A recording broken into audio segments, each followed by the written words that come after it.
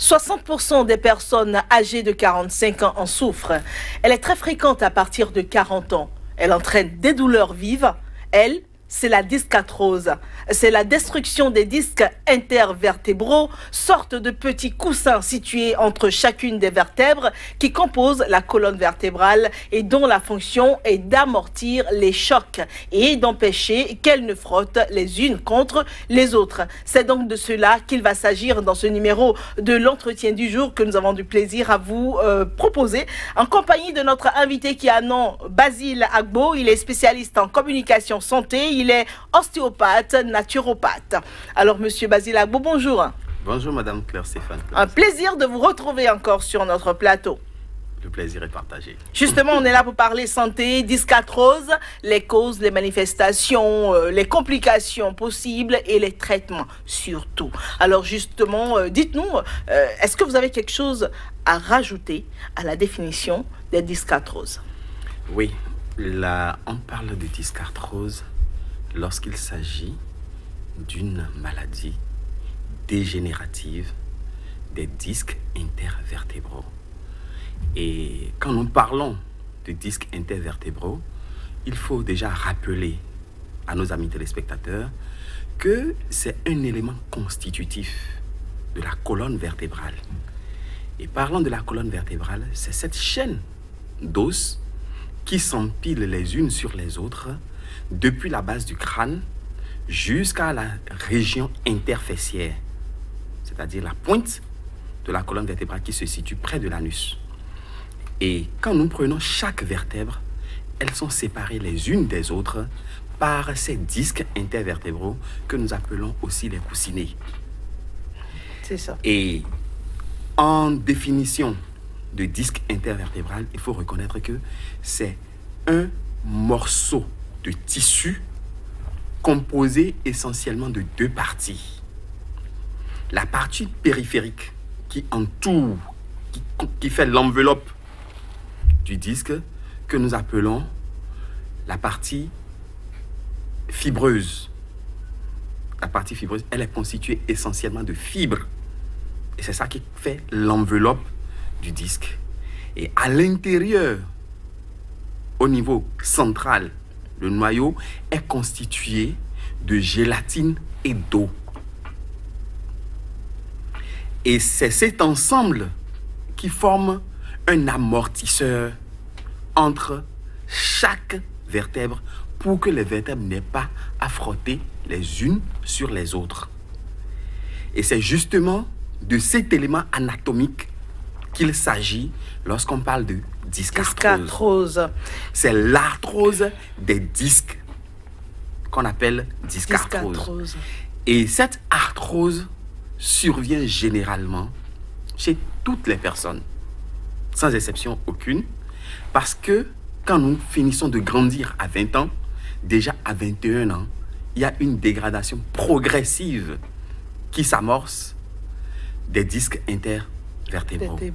Et ces disques, suivant notre posture, suivant le travail que nous faisons, les positions que nous adoptons, l'âge et bien d'autres On facteurs, va en arriver aux causes Euh, tout, à à l'heure, oui. justement. Alors, oui, on constate que ce disque commence par s'affaisser.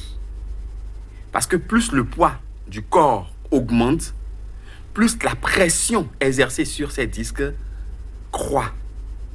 Et à partir de ce moment-là, elle commence par subir le coût de notre vie, le- notre rythme de vie, les charges que nous portons, notre poids corporel constituent des éléments qui peuvent contribuer avec l'âge à la dégradation de ces disques. De Et il faut noter que généralement, à partir de 40 ans, 60% des personnes commencent par avoir des discarthroses. Elles sont parfois débutantes, mais elles sont là. Et c'est à l'âge avancé, c'est-à-dire dans le troisième âge à partir de 60 ans, que les douleurs commencent par se manifester. Les douleurs peuvent commencer à 40 ans, mais elles s'accentuent généralement à partir de 60 ans. Et à 80 ans, on a environ 85% des personnes qui, commencent, Qui qui, sont véritablement atteintes de disque arthrose. C'est ça. Et justement, c'est irréversible, hein. euh, mais on peut arriver à freiner hein, euh, les, manifestations quelque part par les non traitements. non, seulement, non seulement les freiner, mais réduire de façon exponentielle les douleurs liées au disque arthrose. C'est ça. On va en arriver plus amplement, de façon plus détaillée, euh, au à toutes les possibilités qu'il y a de, traiter. Donc voilà. Mais déjà, les, les discatroses, il y en a de plusieurs sortes. Euh, il y en a de lombaires, il y en a de cervicales. Vous voulez bien nous en parler? Voilà. On parle d'un codiscarthrose lorsqu'il s'agit d'une discarthrose cervicale. Ça se situe Ça se situe au niveau de la région du cou, c'est-à-dire à partir de la première vertèbre qui est située juste à la base du crâne jusqu'à la première vertèbre dorsale. C'est cette région-là qui est constituée de sept vertèbres qu'on appelle les vertèbres cervicales. Et pourquoi on peut avoir une dyscarthrose à ce niveau? Simplement parce que ces vertèbres supportent le poids de notre tête. D'une part. D'autre part, ces vertèbres sont plus amovibles parce que nous avons tendance tout le temps à bouger le cou, à bouger ces vertèbres situées au niveau de notre cou. Et ce sont ces mouvements de rotation, de flexion, d'extension qui vont contribuer progressivement à la dégradation de ces disques intervertébraux. Qu'est-ce que vous allez dire des Indiens qui euh, euh font ou un non le... font, beaucoup plus de mouvements de la, tête, hein, que, que tout autre. Euh, Et généralement, c'est des gens qui développent ce que nous appelons un coup de lapin. C'est-à-dire, après, quand la maladie s'installe complètement, ils ont le cou raide. C'est ça, coup. C'est ça qu'on appelle le coup de lapin. Et c'est la dégradation des disques qui est à l'origine. Justement. Et après ça, nous avons les lombodiscarthroses.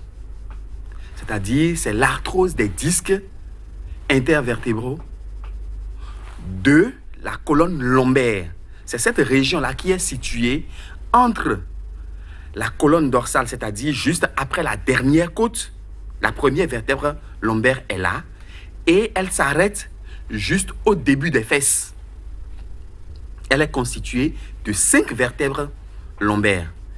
Et ces vertèbres-là aussi sont sujets de dyscarthrose parce que nous les utilisons beaucoup plus dans nos mouvements tout le reste bouge ensemble dans une moindre proportion. Mais ces deux régions sont les plus exposées parce qu'il faut s'abaisser, il faut se redresser, il faut porter des charges, il faut s'asseoir, il faut se coucher, ainsi de suite. Donc c'est la région lombaire qui est la deuxième partie la plus sollicitée et généralement une lombodiscarthrose se localise au niveau de la quatrième et de la cinquième vertèbre lombaire. C'est ça. Alors justement, on va revenir aux, causes des discarthroses. C'est quoi les causes fréquentes?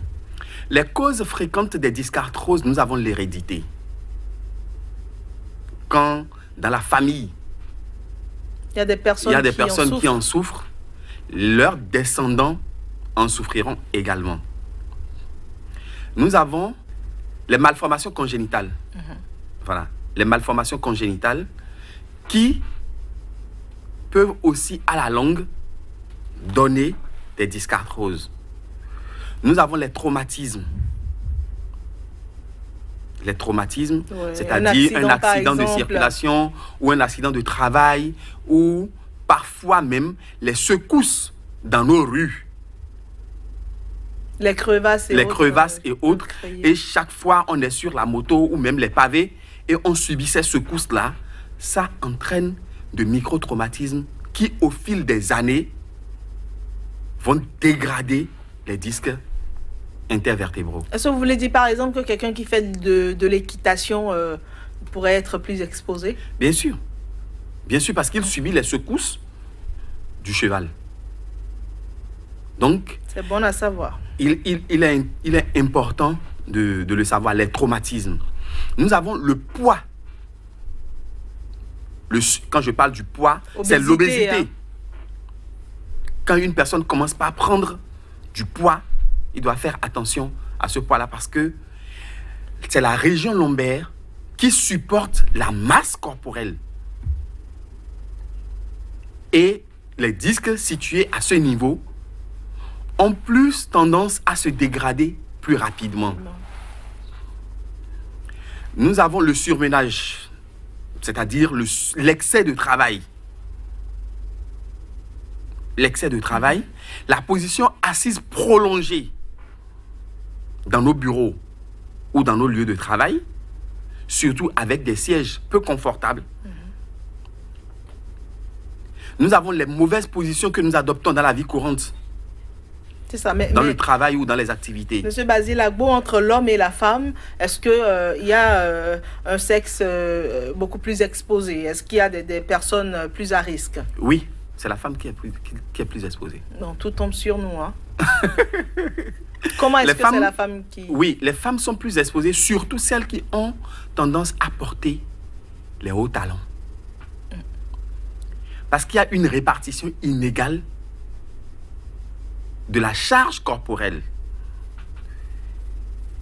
Et l'utilisation de ces chaussures à talons fait que le corps, le poids du corps a tendance à basculer soit vers l'avant ou vers l'arrière, suivant le, suivant le, modèle de chaussure. Suivant la longueur du talon. Mm. Donc, il faudra faire vraiment attention à cela. Ça fait un. Deuxièmement, l'obésité est féminine, excusez-moi de le dire. Parce que généralement, après la maternité, la femme a tendance à prendre, tendance du, poids. À prendre du poids. D'autre part, la maternité excessive peut contribuer à la dégradation des disques intervertébraux, puisque à chaque passage, le bébé doit forcer la colonne lombaire pour passer. Absolument. Et des femmes, parmi toutes les femmes, il y, a il y a une catégorie de femmes qui est encore plus exposée. C'est celles qui accouchent le plus rapidement possible. C'est-à-dire, dès qu'elles commencent leur travail, au bout d'une heure, deux heures, elles vont à l'hôpital déjà, elles accouchent. On dit, ben, tout de suite, je l'ai vu passer, elle a accouché. Tout de suite, voilà. Et elles se disent, oui, moi j'ai une bonne main, j'accouche facilement.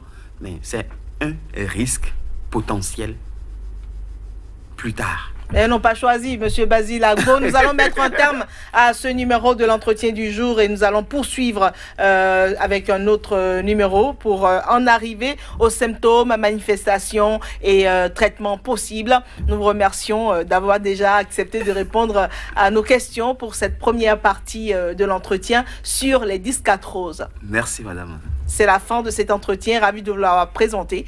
Prenez soin de vous.